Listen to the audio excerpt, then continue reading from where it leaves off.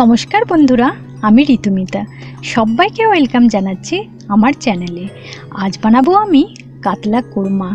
এই স্পাইসি কাতলা কোরমা যে কোনো ধরনের রাইসের সাথে খেতে খুবই ভালো লাগে। তাহলে প্রথম থেকে শেষ পর্যন্ত আপনাদের ভিডিওটা দেখার জন্য অনুরোধ করলাম। তাহলে চলুন শুরু করে দিই আজকের রেসিপিটা আমি এখানে তিনশো গ্রাম কাতলা মাছ পাঁচ টুকরো করে নিয়েছি। প্রথমেই মাছগুলো ম্যারিনেশন করে নেব। নুন দিলাম হাফ টিস্পুন। হলুদ গুঁড়ো দিলাম হাফ টিস্পুন। আদা বাটা হাফ টিস্পুন।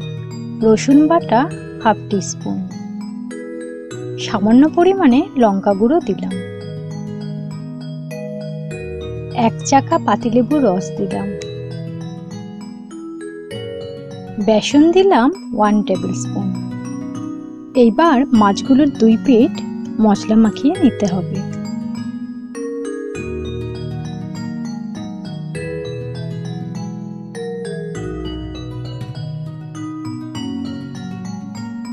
এবার মাছগুলোকে দশ থেকে পনেরো মিনিট ম্যারিনেশন করে রেখে দেবো। পনেরো মিনিট বাদে আমি মাছগুলো ভেজে নেব।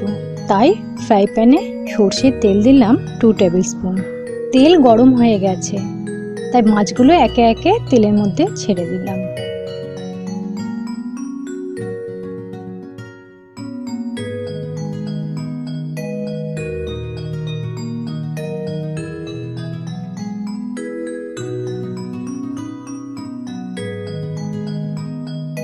এক পিঠ ভালো করে ভাজা হয়ে গেছে।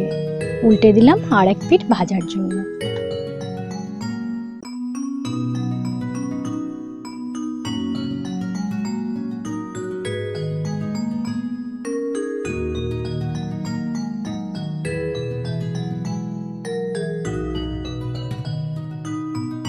দুই পিঠ মাছগুলো ভালো মতো ভাজা হয়ে গেছে। তাই মাছগুলো তেল থেকে তুলে নিলাম।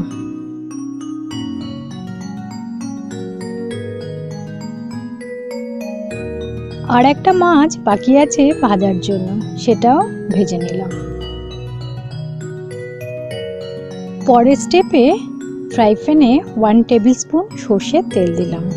তেল গরম হয়ে গেছে পেঁয়াজ কুচি তেলের মধ্যে ছেড়ে দিলাম। আমি এখানে দুটো মিডিয়াম সাইজের পেঁয়াজ স্লাইস করে কেটে নিয়েছি। পেঁয়াজগুলো দু থেকে তিন মিনিট ভেজে নিতে হবে। পেঁয়াজগুলো মোটামুটি ভাজা হয়ে গেছে। এইবার ন থেকে দশ পিস ভাঙা কাজু তেলে দিয়ে দিলাম। এক দু মিনিট মতো নেড়ে চেড়ে কাজুগুলো ভেজে নিতে হবে। পেঁয়াজ আর কাজু বাদাম ভাজা হয়ে গেছে। এবার পেস্ট করার জন্য মিক্সির বাটিতে ঢেলে দিলাম। অল্প একটু জল দিলাম। আমাদের পেস্টটা রেডি হয়ে গেছে। এবার মাছের গ্রেভি বানাবো। তাই ফ্রাই প্যানে টু টেবিল স্পুন মতো সর্ষের তেল দিলাম। তেল গরম হয়ে গেছে। তাই গোটা গরম মশলা তেলে ছেড়ে দিলাম।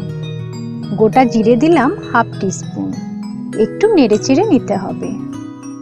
ওয়ান টিস্পুন দিলাম রসুন বাটা। আদা বাটা দিলাম ওয়ান টিস্পুন একটু নেড়ে চেড়ে মশলা দুটো ভেজে নিতে হবে। এবার ফ্রেশ টমেটো পিউরি দিলাম পঞ্চাশ গ্রাম। আমি দুটো মিডিয়াম সাইজের টমেটো বেটে নিয়েছি। পাঁচ থেকে সাত মিনিট মতো টমেটো পিউরি ভেজে নিতে হবে। এইবার ওয়ান টিস্পুন মতো নুন দিলাম।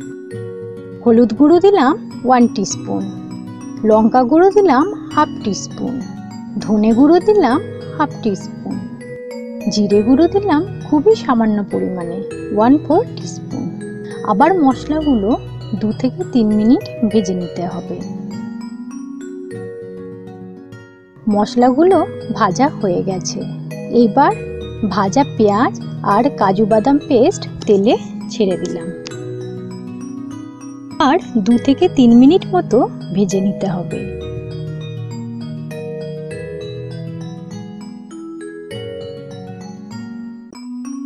যখন মশলা থেকে তেল ছাড়বে, তখনই বুঝতে হবে মশলা কষানো হয়ে গেছে। এবার একটু কালারের জন্য হাফ টিস্পুন মতো কাশ্মীরি লাল লঙ্কার গুঁড়ো দিলাম। তিনটে কাঁচা লঙ্কা কুচি করে তেলে ছেড়ে দিলাম। মাছের কালিয়া বা কোরমা একটু ঝাল ঝাল খেতে ভালোই লাগে। হালকা নেড়ে চেড়ে নিয়ে এক কাপ মতো ঈষদ উষ্ণ গরম জল ঢেলে দিলাম। এখন ভালো করে নেড়ে চেড়ে নিতে হবে। গ্রেভি ফুটে গেলে সামান্য ধনে পাতা দিলাম। একটু নেড়ে চেড়ে নিয়ে সামান্য গরম মশলা, কসুরি মেথি গ্রেভিতে দিয়ে দিলাম। ভালো মতো করে মিশিয়ে নিতে হবে। গ্রেভি ফুটে এলে ভাজা মাছগুলো একে একে দিয়ে দিতে হবে গ্রেভির মধ্যে।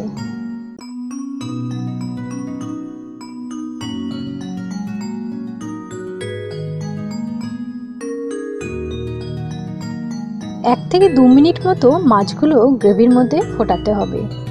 যাতে মাছের টেস্ট পুরোটাই গ্রেভিতে ঢুকে যায় আর গ্রেভির টেস্টটা মাছের মধ্যে যায়। নামাবার আগে গ্রেভি টেস্ট করার সময় দেখলাম নুন একটু কম লাগছে, তাই হাফ টিস্পুন মতো নুন দিয়ে দিলাম।